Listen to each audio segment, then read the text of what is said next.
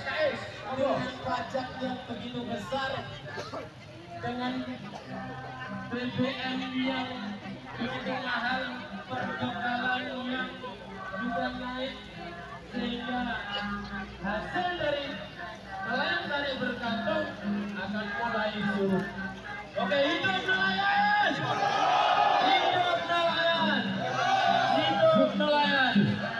Hidup nelayan! Terima kasih Bapak Polisi sudah Mas, Mas Pikir, betul Mas. Hidup nelayan! Nelayan bersatu, tak bisa dikalahkan. Saudara-saudara, hari ini kita akan buktikan kepada pemerintah daerah, kepada DPR bahwa kita butuh pertolongan mereka. Mereka jangan saya nanya, ongkang-ongkang kaki, duduk di kursi parlemen dan di kursi bupati. Betul Pak? Lihat Bapak Bupati, lihat Bapak Wakil Rakyat. Ini adalah rakyat dari Panjenengan. Ini adalah warga dari Panjenengan. Kenapa selama ini Panjenengan diam saja? Apakah saudara?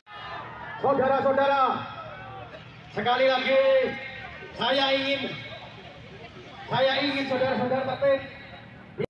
Saya sekali lagi berpesan kepada panjenengan semua. Saya tidak akan pernah bosan.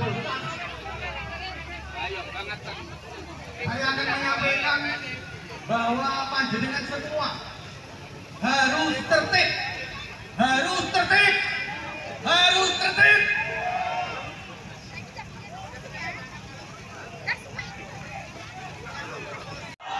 Saat ini kita tahu semua bahwa nasib nelayan di ujung tanduk. Panjenengan tidak merespon sama sekali.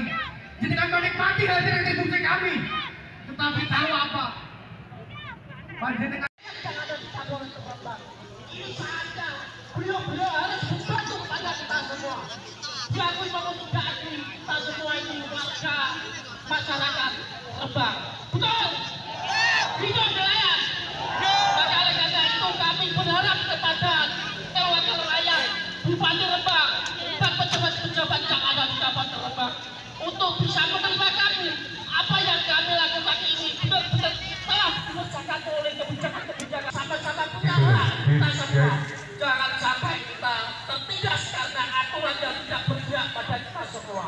Untuk itu monggo kita serukan bahwa kita menolak PP 85 yang mana akan tentu akan menyalurkan aspirasi ini kepada pemerintah pusat dan nanti saya minta didampingi dari berbagai unsur yang mewakili nanti kita bersama-sama ngadep pada pemerintah pusat setuju ya?